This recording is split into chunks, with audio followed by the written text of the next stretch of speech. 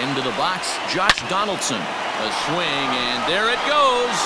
Forget about it. This is going to be back to back to back to back home runs. What an awesome moment for this team right here. That's the fourth home run in a row. There's a fight at the bat rack right now. Guys are chomping at the bit to get up at the plate.